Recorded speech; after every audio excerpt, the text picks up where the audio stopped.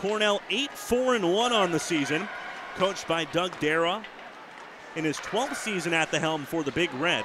Coming for Emily Landry, but a save made by Paula Voorheis.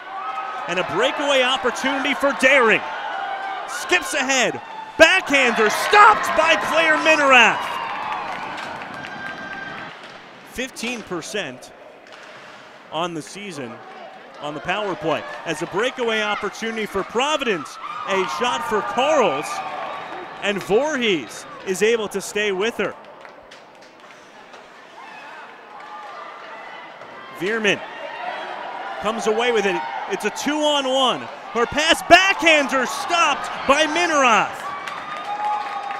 Claire Minnerath, the freshman goaltender, stops another shot, and a backhander, a second chance for Cornell, and Bunton, it's out of reach for her.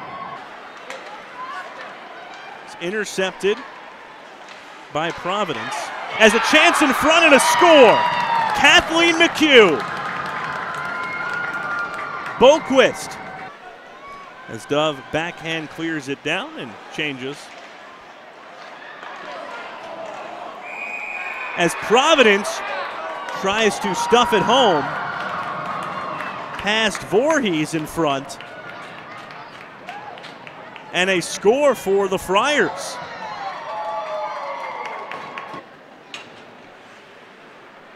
have been the difference. A breakaway opportunity for Caitlin Daring. Scoops up the puck in front, kicked away by Minnerath.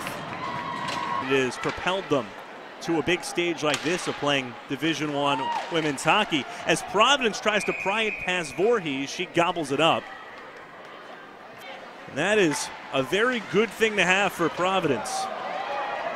Lewis again toward the cage, backhander wide near side.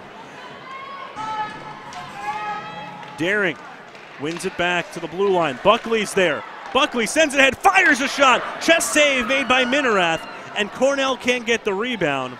28 seconds remaining on the Cornell power play. 2.40 in the game. Curlew has Graham to her side. Graham fires a shot, and it's robbed by Claire Minnerath. Draw one by Daring. Bunton fires a shot deflected by Providence. Time expires.